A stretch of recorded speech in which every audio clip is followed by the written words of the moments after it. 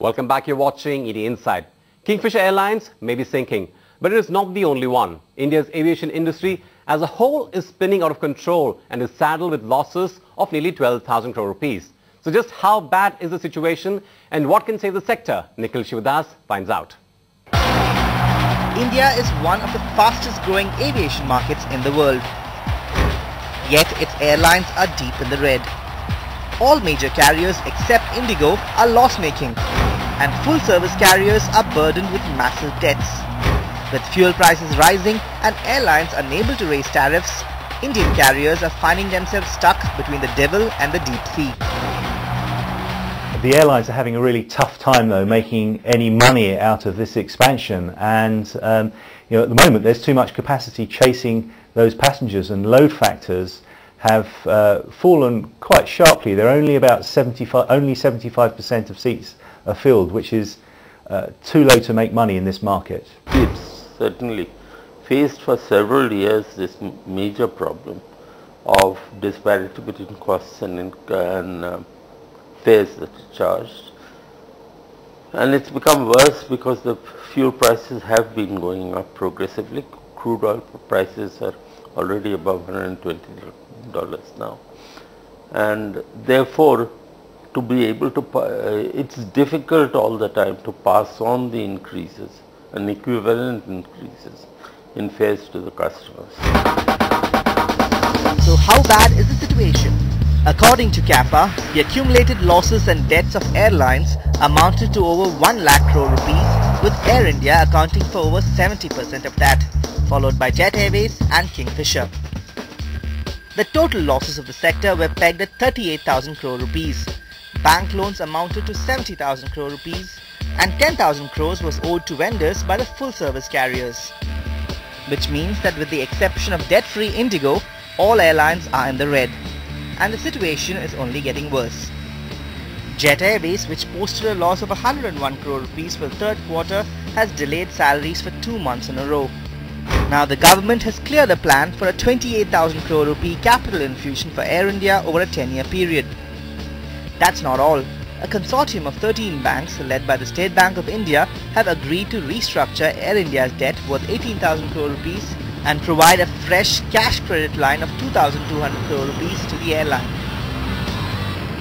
Government needs to come in to support Air India because a major chunk of Air India losses are currently on account of the decisions taken by the government of India, largely aircraft acquisition in much larger number than what Air India could afford or gainfully deploy, merger between Air India and Indian Airlines, besides the fact that it's the government of India which decides on the board of directors, which takes all the key decisions. The government of India decides on the chief executive. So all these factors are determined by the government and as we say very often, the polluter pays. According to CAPA, Indian carriers will collectively lose $2.5 billion or 12,600 crore rupees in the 12 months ending March 2012. That's nearly 25% of the industry's total revenues of about $10 billion or 52,000 crore rupees. According to the Federation of Indian Airlines, fuel accounts for close to 40% of the total operating cost for airlines in India and the estimated annual fuel bill for the industry last year was more than 20,000 crore rupees. That huge bill came on the back of ATF prices rising 40% last year. Add to that a 16% depreciation in the rupee and what you have is a huge dent on the balance sheet of most carriers. There was an IATA report that assessed that a $1 increase in the base price of crude requires the aviation industry to recover over a billion dollars globally to compensate for it. So clearly aviation fuel has a very major, it's the largest operating expense of an airline. Airlines could have offset those costs with higher ticket prices, but the scope for raising fares is limited because competition in the industry is stiff. Besides which, the aviation regulator DGCA frowns upon fare hikes which means that airlines cannot pass on the rise in cost to consumers beyond a predetermined point. This also implies that Indian carriers cannot charge higher fares during peak season to counter losses during leaner months. That's not all. Differential pricing or charging a premium for exit row seats and for additional checked-in luggage is not permitted. All this limits an airline's scope to turn around. The DGCA has certainly looked into the matter and to avoid any or to uh, prevent any predatory pricing by the airlines, they have got a fixed, uh, fixed uh, uh, width of the price band. That you cannot exceed this price, you cannot be quoting less than a certain price. So depending on the uh, advance days or the booking is done, the prices are varying. The central point is that the airlines are enabled to um, charge fares which reflect their cost. So in any form of pricing that you do, as long as it doesn't reflect cost, it will not help. From pricing boost to a capital crunch. It's well known that aviation is a business that requires deep pockets. However, India's airline promoters are not large enough to absorb the losses in a business that can take years to turn around. So far, they have been able to survive because they can borrow from banks and other financial institutions. But banks will not lend to companies that are in the red and if they do, the interest rates will be painfully high. The only way out of this debt trap is by raising fresh equity and that's where FDI comes in. Not just for Kingfisher, but for the entire industry, I strongly believe that foreign direct investment by strategic investors should be permitted. While FDI in aviation is allowed, foreign carriers are prohibited from investing in their Indian counterparts. Even in more developed nations, there are restrictions on airline ownership. The government is working on changing that. Even so, critics argue that Indian carriers are still relatively new and still firming up on routes and destinations. They say that foreign players will ignore smaller destinations and only feed their international hubs, potentially denting the domestic aviation industry. That's perhaps why not everyone agrees to the idea of letting foreign players rule the Indian skies. We really feel that the longer term opportunity of India must lie with Indian operators.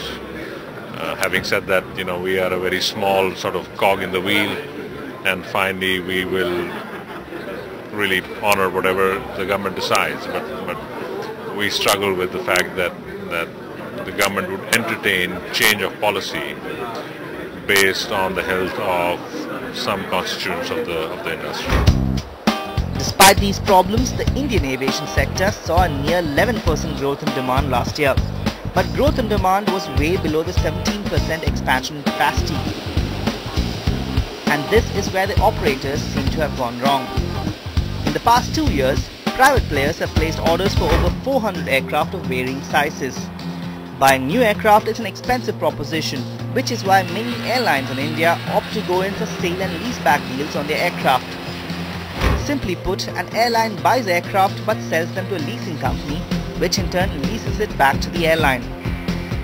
For instance, reports suggest that Air India is considering selling 7 planes under this arrangement and then lease them back.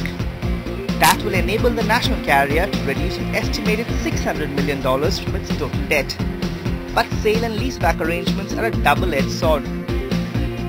Airlines benefit because they do not have to factor in the cost of depreciating assets on their books. A disciplined management can use such deals to reduce their debt burden, grow operations and earn more to offset the higher long-term costs of leasing aircraft. The biggest advantage of course is it keeps uh, debt uh, off your backs and hence uh, interest and also depreciation because that goes to the books of the, the lessor and you also make a tiny profit uh, on, on day zero of the transaction itself uh, when you uh, procure the aircraft from the aircraft manu manufacturer and sell it to the to the lessor and ultimately lease it back to yourself. So you still have the aircraft but at a, a very very tiny cost impact and that way you manage a balance between your in incomes and your outflow. But inefficient operations could see such deals ballooning to unmanageable costs in future years. The other issue is the business model followed by airlines.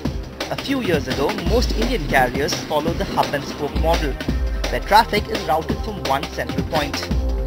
This model maximized revenues but led to lower craft utilization time. As more operators entered the market, passengers per airline dwindled and many switched to the point-to-point -point model which provides direct flights to and from a city. Here, aircraft utilization is superior but revenues are lower. Globally, airlines operate with both these models, but in India, airlines follow only one path, raising their business risks. The origin and destination of the traffic study reveals that the traffic does not necessarily or predominantly start from metro airports, but now the smaller towns also generate a lot of traffic. Therefore, the I think all, almost all airlines are now getting into smaller aircraft and are likely to resort to the hub and spoke so that their aircraft on the main trunk routes they get filled up and the seat occupancy goes higher. The aviation sector has learned tough lessons from the rise and fall of Kingfisher Airlines and now most carriers are concentrating hard on keeping costs to a bare minimum. Several airline operators have also asked the ministry to ensure a level playing field with foreign airlines in India operating on bilateral trade agreements and also asked for the sector to be granted infrastructure status, which will help it avail lower taxes and hence rationalize costs. If that happens and carriers can raise funds via FDI, the Indian aviation sector could well take wing once again.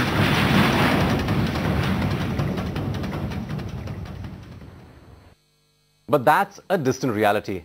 As of now, the aviation sector is in dire need of a quick turnaround. With that, it's a wrap on this edition of ET Insight. We'll be back next week, but until then, don't forget to write in with your feedback and suggestions. Thanks so much for watching.